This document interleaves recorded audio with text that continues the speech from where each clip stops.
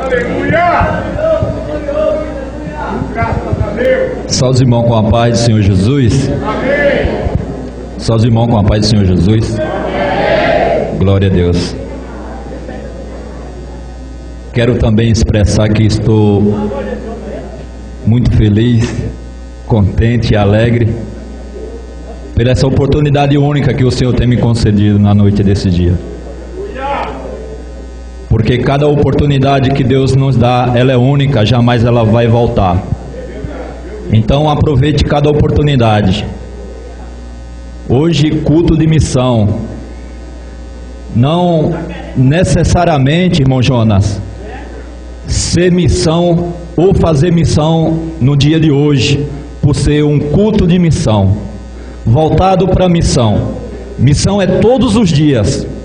Missão é cada oportunidade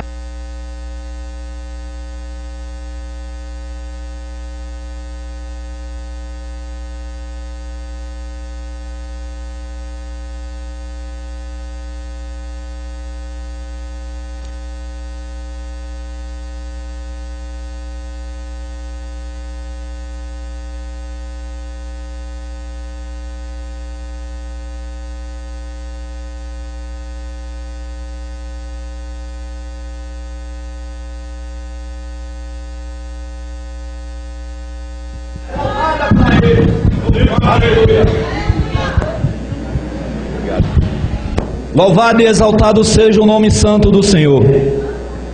Apocalipse, capítulo de número 3, versículo 20. Apocalipse 3 e versículo de número 20 diz assim: Eis que estou à porta e bato. Se alguém ouvir a minha voz e abrir a porta, entrarei em sua casa e com ele cearei e ele comigo. Aleluia. Deus está na porta. Deus quer entrar. Jesus quer mover alguma coisa e está na porta para fazer isso. Aleluia. Só basta você ter, aleluia. Só basta você ter um ouvido sensível ao Espírito Santo de Deus para você entender que Deus quer entrar. Aleluia.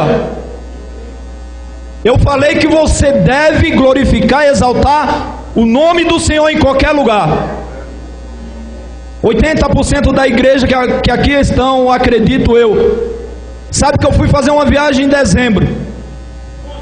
Aleluia. E lá eu visitei vários lugares maravilhosos. Enquanto que a minha família se divertia em um certo lugar, um lugar bem deserto. Lugar, se eu falar aqui, você fala assim: você é louco, Renivaldo. Falar de Jesus neste lugar. Aleluia. Foi na beira de uma praia. Aleluia.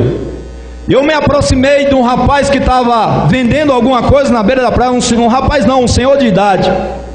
Uns 48 a 50 anos de idade.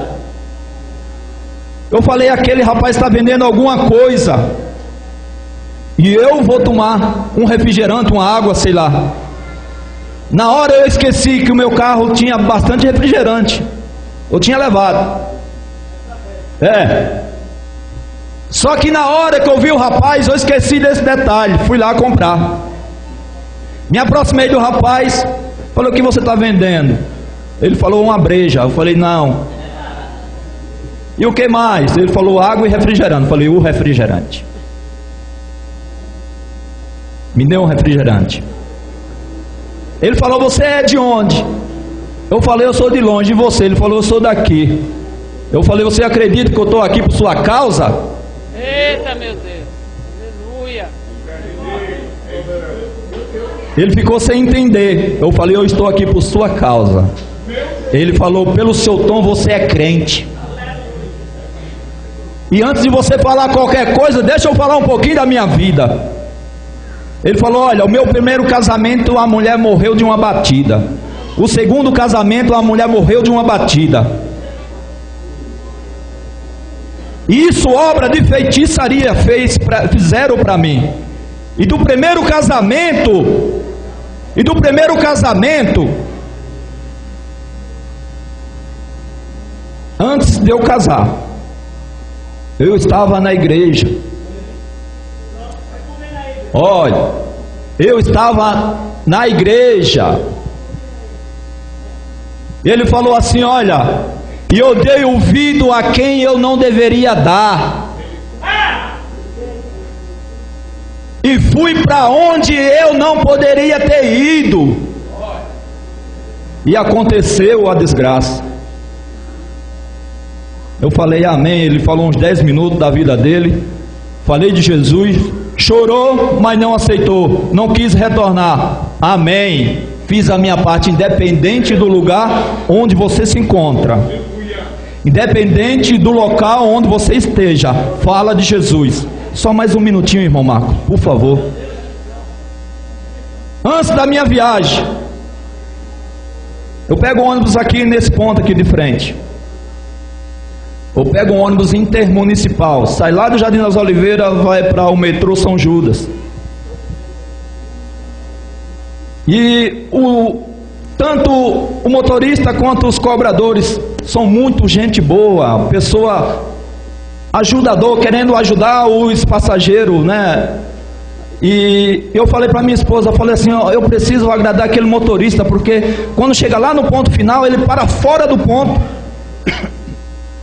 para ficar mais próximo do meu trabalho. Aleluia. E às vezes o ônibus passa lotado, ele para mais um pouquinho na frente, eu entro pela porta de trás, para quando chegar lá no final, eu ir pagar. É lógico, tem que pagar. Mas enfim, ele não deixa eu no ponto. Pode estar lotado, mas ele não deixa eu no ponto. Eu falei, eu vou agradar esse senhor.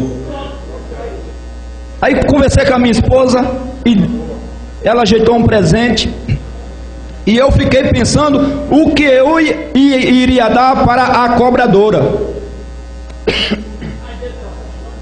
Aleluia. E o rapaz que trabalha comigo, ele falou, Renivaldo, eu preciso dar um presente. Eu falei, eu sei o que, que é. Ele falou, o que é? Eu falei, uma Bíblia. Ele falou, mas eu vou comprar? Eu falei, eu vou comprar isso para você. Você compra para mim? Eu falei, compra. Quando chegou lá, eu comprei duas. Uma para mim e uma para ele. E coloquei a minha dentro da minha mochila. Eu falei, essa aqui vai ser da cobradora. Entreguei antes, antes de eu viajar. Entreguei o presente para cada um. E não deram tempo de, de me agradecer. Fiz a viagem, retornei, retornei dia 10 de janeiro a trabalhar. Passei a semana e não vi nem o cobrador, nem a cobradora, nem o motorista. Na outra semana, quem para aqui? Esse senhor. Ele com aquela alegria imensa. Bom dia, bigode. Eu falei, bom dia, senhor. Tudo bem com o senhor? Tudo bem e tal. Entramos, fomos embora. Quatro e meia da manhã. Cheguei na catraca, um pouquinho lotado estava o ônibus, consegui chegar. Quando a cobradora me avistou, você não entende a alegria que aquela mulher expressou dentro do ônibus. Aleluia. Ela falou assim: Olha, moço, eu nunca recebi um presente mais importante da minha vida do que aquele que você me deu. Aleluia. E eu confesso para você, eu estava afastada do Evangelho. Eu não queria saber nada de Deus. Mas quando você me deu o presente, aquela alegria tomou conta de mim. E ela falava isso, não era baixinho, não, irmão.